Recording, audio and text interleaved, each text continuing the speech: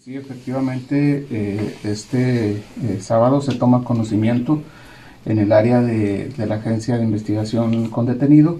en donde se pone a disposición una persona eh, por el delito de, lesiones, ya que pues previamente en cuanto a la flagrancia es a determinar precisamente por lo que respecta a este delito. No obstante, la persona que fue lesionada, este, como ya he sabido también, esta persona falleció al llegar al hospital Chavarría y por lo tanto pues integra este, mm, esta carpeta de investigación por el delito de homicidio. Eh, están otras dos personas lesionadas, una de ellas se encuentra aún en terapia intensiva en calidad grave, otra persona está fuera de peligro. Dentro de esta carpeta de investigación pues eso es con respecto precisamente a estos tres delitos lo que son eh, lesiones en agravio de dos personas, eh, una del sexo masculino y otra del sexo femenino, y eh, por el delito de homicidio en agravio de una persona del sexo, más, del sexo femenino. Se recabaron ya diversas entrevistas de testigos, así como peritajes de, en cuanto a la necropsia de ley y certificados médicos, además de diversos videos también que se están allegando a la carpeta de investigación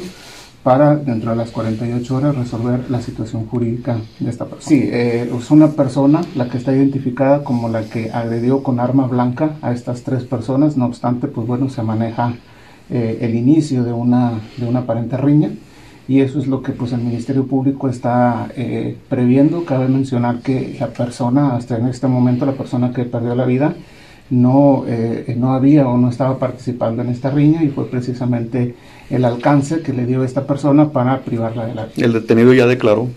Hasta este momento no, se está en espera de que rinda su declaración en caso de que sí lo, lo desee realizar. El motivo de la riña fue precisamente eh,